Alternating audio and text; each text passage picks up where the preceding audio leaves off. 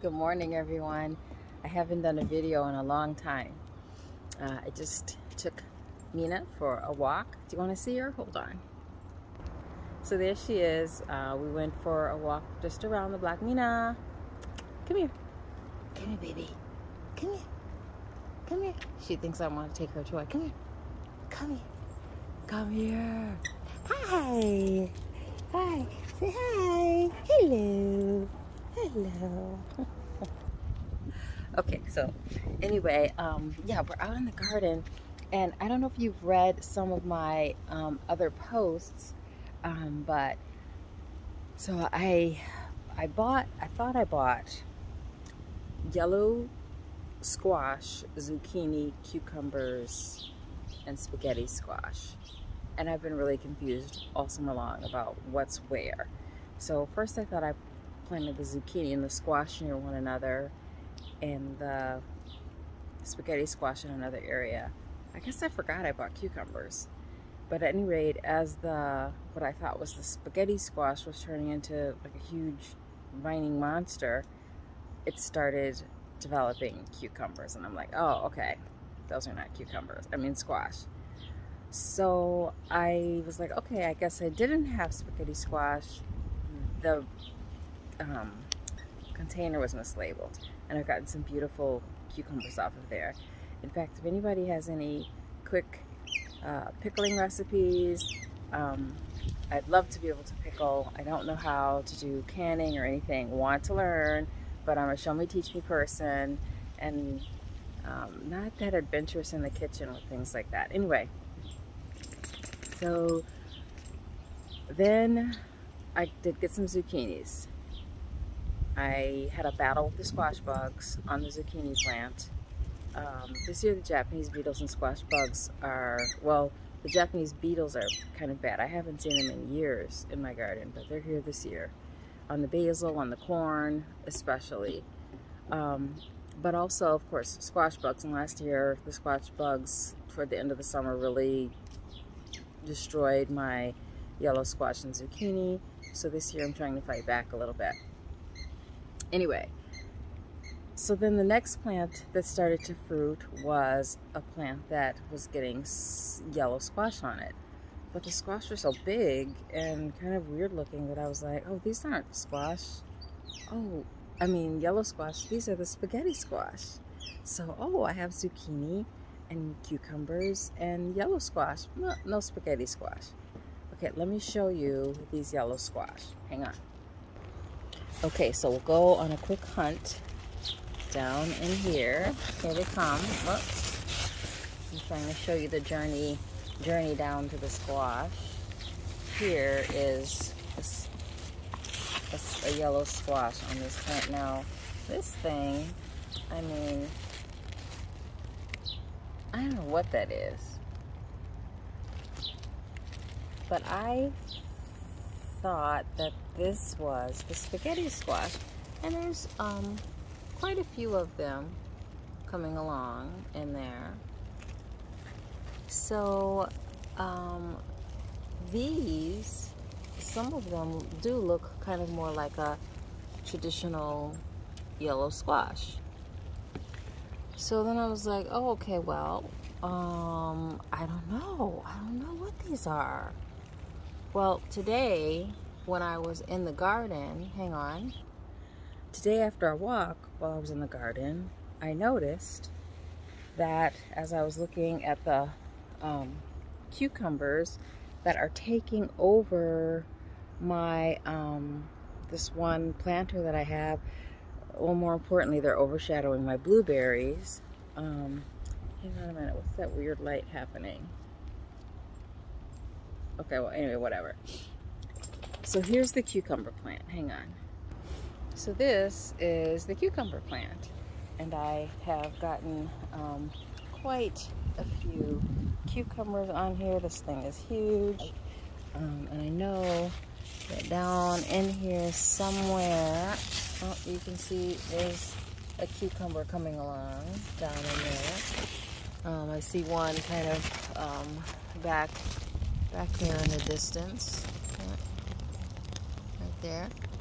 So I do know that for sure this monstrosity is a cucumber plant and you can see that it is pushing its way over into the madness of tomato world that I'm finally getting some green tomatoes on but no red ones I probably should trim the tomato plant but I'm just gonna leave it I've got several types of tomatoes on here.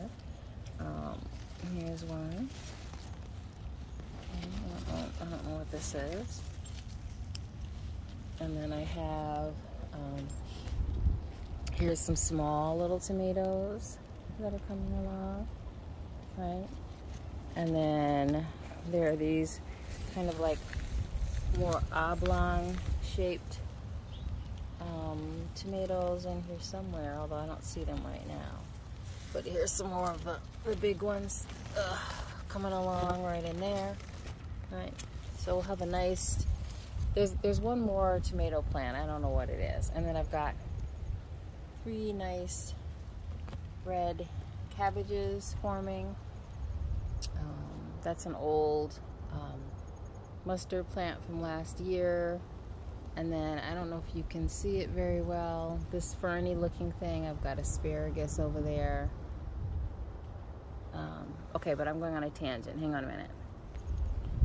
So getting back to the um, to the uh, um, cucumbers, which is what I am supposed to be talking to you about. My goodness, I'm all caught up. I was looking at things this morning and I noticed that on the cucumber plant there are these sweet little yellow flowers like this. Um, but let's see if I can zoom in on that beauty right there. I don't know if I can or not. Oh, there it is okay? But I noticed this morning while I was looking at the plants that there was also a giant flower like this. Okay, and the color is also different. So I was like, well, what is that? And pulled back and noticed that these leaf shapes, okay, see how they're a little um, softer and rounder than the See that softed round, let's see, one, kind of like two, three, four, five, if you will.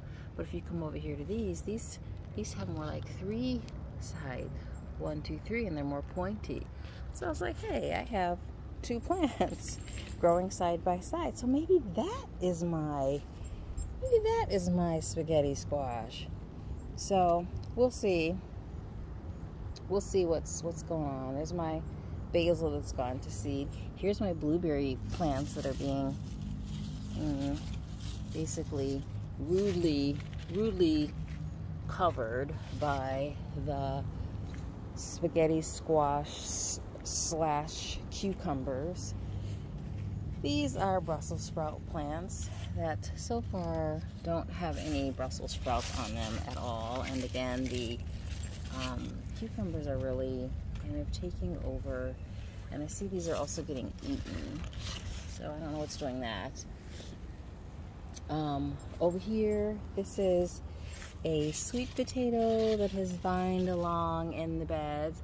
And la la la, the corn. I'm so excited about this corn. It's um, something I just thought would be really cool to grow in the yard. Um, but I don't know, just Never thought I, I could or would. This is the sorrel. It's coming along really nicely. And over here we have a nice cabbage head. This baby's ready to be picked. Might get some fresh cabbage soon. Um, oh yeah, I gotta get at that one, because that one splits. Okay, and then we have beets. Okay. I saw one over here that um, like the leaves were so nice and tall. Oh, here it is. Got a nice tall batch of big leaves, but the beet looks really tiny under there. So we'll see. Um, I think I might pull that one up later on and eat it. There's the corn again. Coming along really well. And then lastly, let's just go on ahead since we're doing a tour and look on the other bed. Here's the remaining three cabbage. These are doing better than the other ones, although I don't know what's going on down in there. There's the back end of the, what I think is, I don't know what kind of squash. More beets and um, a broccoli head that I probably should have picked a long time ago, but I think I'll pick that and eat that as well a little later on today. So that's the garden this year. The lettuces I just let go to seed. They aren't really good this year, um, but I think I might um, plant some for the fall. And then last but not least, we've got the big girl Mina eating stuff she probably ought not to be eating. What are you eating? What are you eating? Mina. What are you eating? Hmm? Are you supposed to be eating that? Ugh. What is that in your eyeball? Mina. Mina. Hi.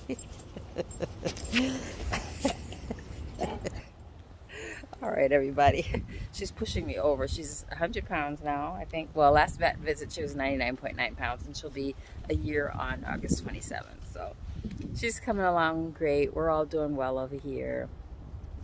And I hope that everything's going awesome in your neck of the, the woods. Oh, one more thing. Let me show you the elderberries. Okay, so here I am by the elderberry bush. This baby grew up from wild. It's some bird dropped a berry seed there and for years I didn't know what it was.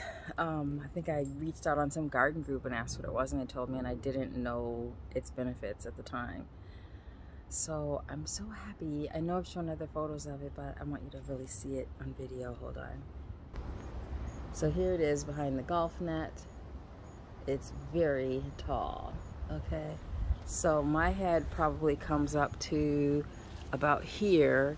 So you can see how much taller that is.